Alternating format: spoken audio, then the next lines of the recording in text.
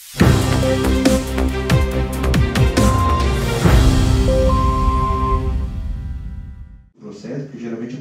A Câmara Setorial Temática do Empreendedorismo recebeu a presidente do Desenvolve MT, a agência de fomento responsável por incentivar os empreendedores individuais e as micro e pequenas empresas que atuam no mercado mato-grossense. O principal assunto da reunião foram os programas e linhas de crédito disponíveis atualmente para esse segmento. Às vezes o difícil não é só tomar o crédito, mas também conseguir fazer apresentar as garantias necessárias para tomar de crédito.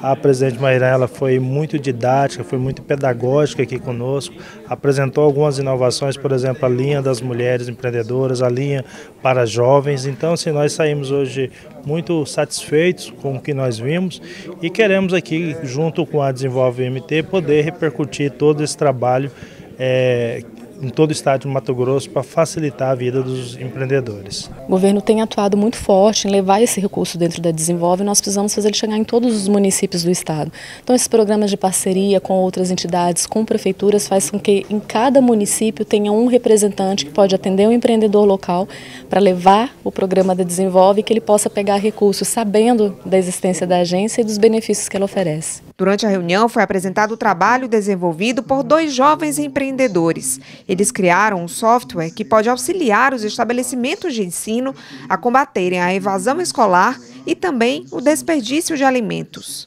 Nós nascemos através de uma competição que foi feita pelo próprio Estado de Mato Grosso através da CCTS. Ganhamos essa competição que foi feita aqui em Cuiabá. Depois disso, a gente foi buscar desenvolver melhor fechar lacunas, deixar ali cada vez mais redonda essa ideia, de uma maneira que conseguisse aprimorar de fato aquilo que a gente tinha como ideia, tinha como ideia, e agora nós estamos buscando de fato expandir isso, levar essa informação não só aqui nesse caso para a Assembleia Legislativa, a Palácio Paiaguás, mas para a população como um todo. É, dizendo, a gente quer dizer que sim, tem algo que possa auxiliar ao pai ter mais segurança de ter a certeza de que o filho está na escola, ter a certeza de que o filho está dentro de sala de aula e também os recursos estão sendo melhor utilizados dentro daquilo que estão se propondo né, para a merenda. O princípio é, é, dar oportunidade para que jovens que estão desenvolvendo, jovens empreendedores que estão desenvolvendo novas startups vinculados a processos inovadores possam apresentar suas ideias num canal democrático que, são, que é a reunião da CST. O, esse, esses jovens eles nos procuraram na reunião passada, quiseram expor a sua ideia e nós achamos que era, era, era é, merecedores em função não só da premiação que já receberam pelo projeto, mas também pela iniciativa.